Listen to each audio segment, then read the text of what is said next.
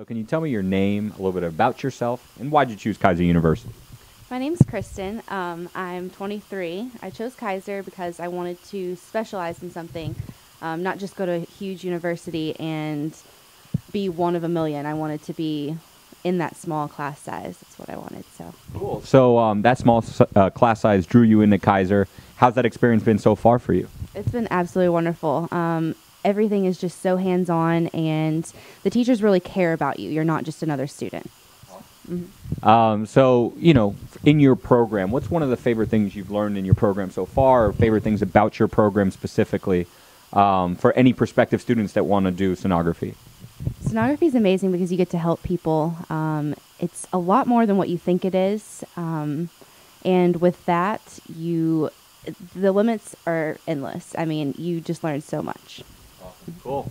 So, uh, can you tell me three words or phrases that, that really have defined your Keiser University experience so far? Uh, it doesn't have to be three; it could be one or two. I mean, just think about what's been your favorite thing in Keiser, and uh, you know why you love it.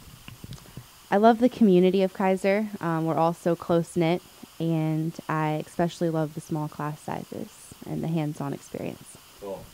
Basic. That's all I need. I appreciate that. Um, is there anything else you would like to add other than go Keiser? Go Keiser. Thank you.